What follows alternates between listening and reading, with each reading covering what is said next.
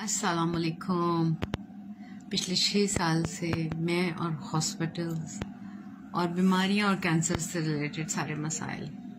अभी भी second chemo नहीं हो सकी है और इन्फेक्शन की वजह से हॉस्पिटलाइज किया गया था कि पहले इन्फेक्शन को कंट्रोल किया जा सके। एक बात जो मैं इस दरमियान में अक्सर सोचती रही हूँ कि क्या बेहतर हो कि आपकी गवर्नमेंट भी कुछ सोचे और पॉलिसी मेकर्स जो हैं हमारे स्पेशली आर्टिस्ट या फन से रिलेटेड फन एंड स्पोर्ट्स से रिलेटेड आर्ट कल्चर से रिलेटेड स्पोर्ट्स से रिलेटेड लोगों को सोचना चाहिए।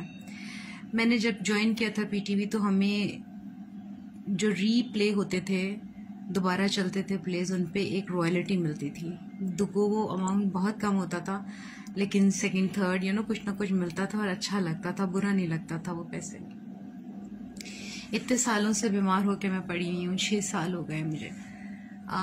सबने बड़ा सपोर्ट किया है, बहुत मदद की है, प्यार किया है, हर तरह से संभाला है मुझे, मैं अकेली थी।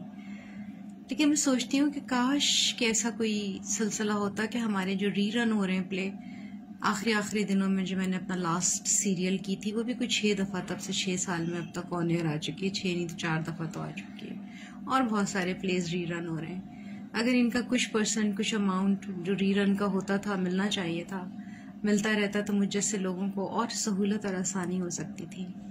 हो सकता है कुछ लोगों को ना होती हो, लेकिन जब आप बहुत साल काम ना कर रहे हो और कोई सपोर्ट ना हो तो ये चीज़ें बहुत इंपॉर्टेंट हो जाती हैं। मैं मैं रिक्वेस्ट करूँगी और डिमांड करूँगी कि इस सिलसिले में कुछ किया जाए। इस मतलब आने वाले वक्त में मुझे से ख़ास तौर पे सीनियर और बीमार आर्टिस्ट के लिए बहुत अच्छा हो जाएगा। जिनके लिए काफ़ी चीज़ें मैनेज करना बड़ा मुश्किल होता है।